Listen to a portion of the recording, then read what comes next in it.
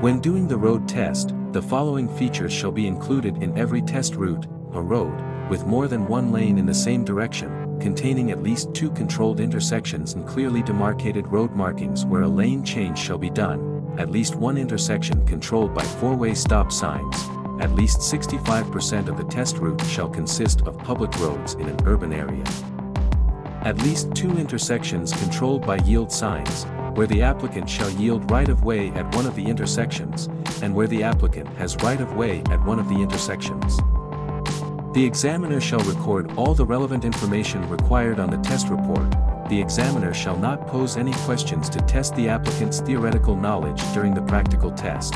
The examiner shall not allow anyone to hinder or anything to instruct or obstruct an applicant during a test and the applicant shall be under his or her direct supervision at all times. Should the applicant at any stage fail the test and in the opinion of the examiner, it would be unsafe for the applicant to continue driving, the examiner may drive such vehicle when returning to the driving license testing center. For the road test you must do certain checks, like when you pass an intersection or when you are about to turn, let's go through this checks.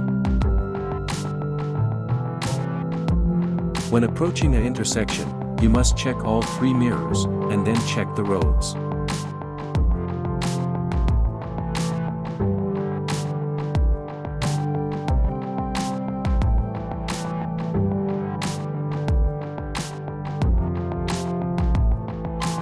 When examiner gives you an instruction to turn ahead, for example to turn ahead left, you will start with center mirror, left side mirror, blind spot left and then indicator left. Before you stop you will check all mirrors, apply foot brake then clutch, stop behind the stop line and pull up handbrake.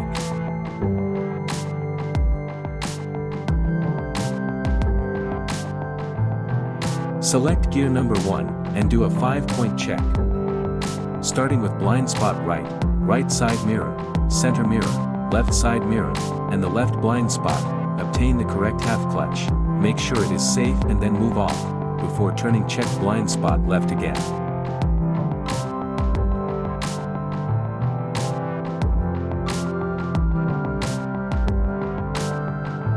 When changing gears, check all mirrors. Remember when you change gears, that hand should be back on steering wheel before releasing the clutch.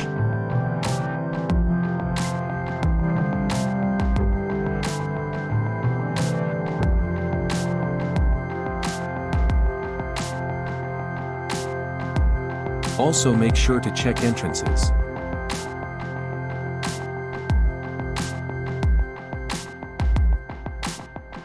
And do not greet anyone while you are testing.